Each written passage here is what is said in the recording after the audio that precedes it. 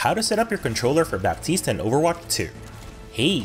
So if you haven't seen my previous video on how to set up your Pro Controller for other heroes like Lucio or Mercy, I highly recommend you check that out first. With that in mind, I'll be showing you various different setups on custom remapping your Pro or non-Pro controller based on your playstyle and preferred hero.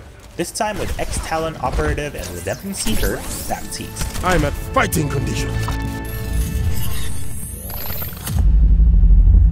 When it comes to a high damage dealing support, Baptiste is one hero you can consistently rely on. If you notice that the damage heroes on your team aren't performing as ideally as you were expecting, Baptiste can provide the necessary damage and even last hits, as well as dishing out healing bursts to keep his teammates alive. But as some of you may know, an inefficient Baptiste is one whose survivability is severely hampered when tethered to the ground.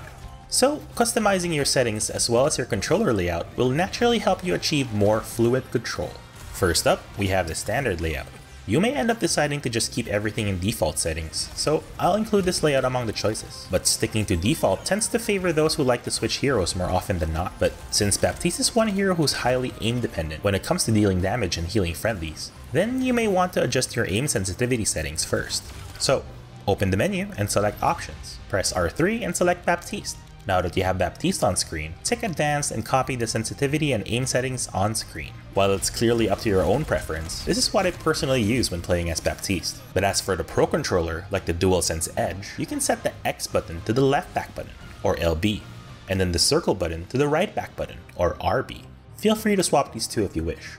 For a non-Pro controller, we have the Exo Boots layout. Have you ever experienced those situations where you just can't seem to pin down the enemy Baptiste whenever he bounces around so much? That's what you get with this layout. Making full use of Baptiste's exo boots, while keeping your thumbs in the thumbsticks most of the time, is a great way to make sure you stay alive and more importantly, stay effective. On the controls panel for Baptiste, scroll down to the movement section and remap jump to L2, and then remap toggle crouch to R3.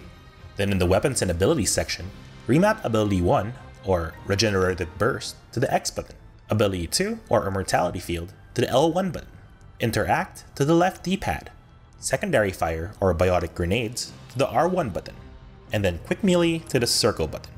By default, I also remap the Ping in World function on the Communications tab to the L3 button but you may also opt to just remap Quick Melee to the L3 button instead. That is if you prioritize Quick Melee more than the ping system. As for the Pro Controller, you can map the left back button for Regenerative Burst and the right back button for the Ultimate Amplification Matrix. This will allow you to be almost completely independent of the face button.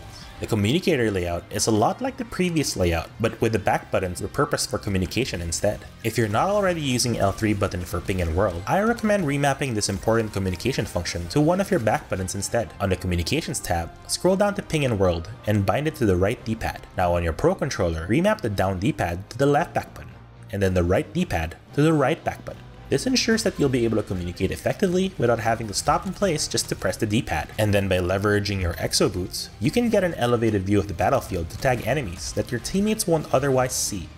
There are so many ways to customize your button layouts for the Pro Controller of your choice, but these are the three I found most useful when playing Baptiste. If you have your own preferred button layout, feel free to share it in the comment section down below. And if you want to see more of my custom layouts for other Overwatch 2 heroes, consider subscribing to my channel for future updates. GG everyone. Peace.